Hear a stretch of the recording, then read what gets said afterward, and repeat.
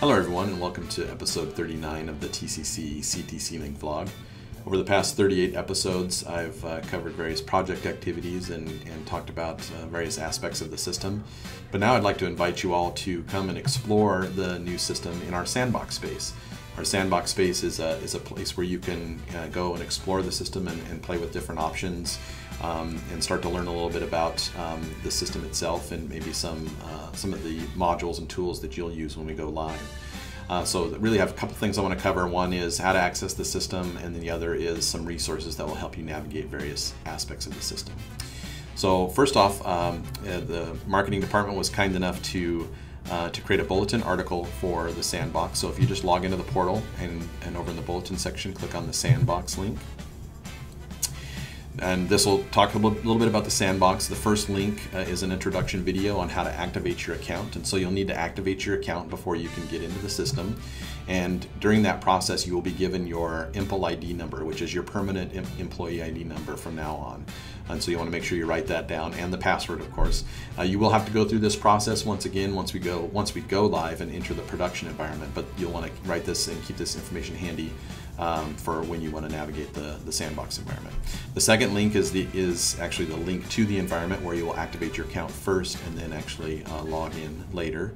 Um, and then uh, the last two links are the support resources, access to support resources. So if you run into any issues, uh, need help with anything, uh, you can either email the support desk or you can click the link here and you can log in with the username and password you set up with the sandbox uh, to create a support ticket.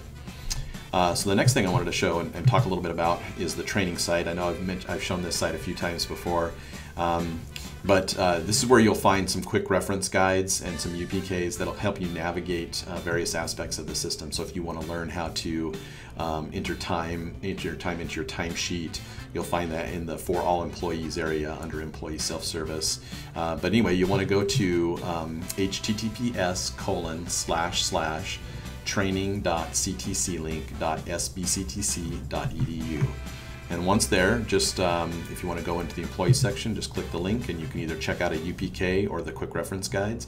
I would recommend starting with the quick reference guides because they're nice little one, two pagers that'll kind of walk you through various aspects of the system. Uh, employee self-service is one thing I just mentioned. Um, and that's where you'll find you'll find information about um, you know changing your biodemo data in the system. So if you have to change your name or address, any of that kind of information, setting up your completing your timesheet, managing a direct deposit, emergency contacts, and so forth. So you can access that information there.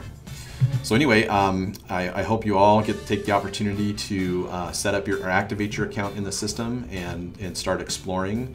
Um, and uh, if you run into issues, definitely create some support tickets. If you have questions uh, for me, uh, feel free to send me an email or give me a call, and I'd be happy to, to answer any of the questions you might have. Um, that's all I have for this episode, and we'll see you next time.